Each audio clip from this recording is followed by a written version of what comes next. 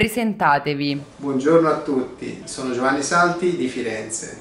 Buongiorno a tutti, sono il dottor Salvatore Piero Fundarò da Modena.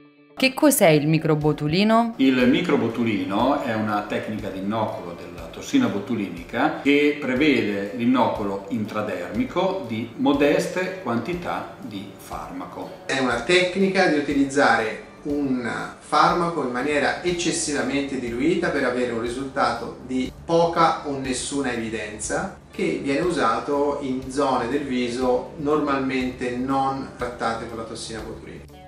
È una moda? Assolutamente sì, peraltro completamente fuori tempo visto che si tratta di una cosa di 15 anni fa almeno. Il microbotulino non è assolutamente una moda, è una tecnica che amplia le indicazioni, che ci dà nuove possibilità terapeutiche. Non si capisce perché questa frenesia collettiva l'abbia riportato in auge visto che i risultati sono modesti. È una tecnica che viene importata dall'Asia e che può avere anche buone indicazioni dei nostri pazienti.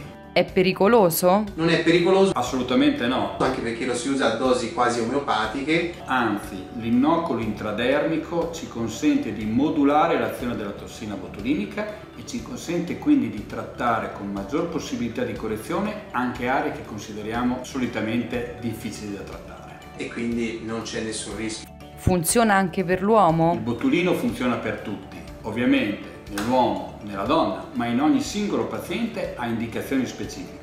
La tecnica funziona in base alla corretta selezione che noi facciamo delle nostre indicazioni. Funziona per tutti, o meglio, non funziona per nessuno, quindi né per la donna né per l'uomo.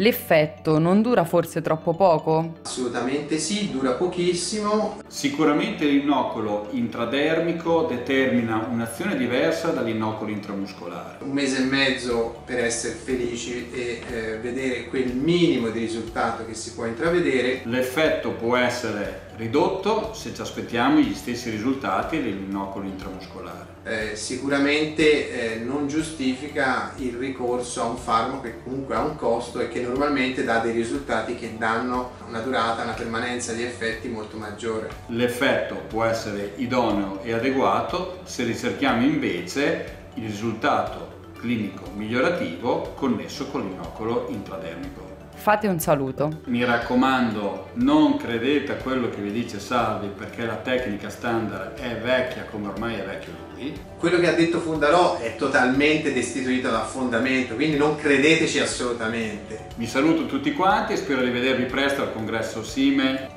Un saluto a tutti, ci vediamo prossimamente a Roma al congresso SIME.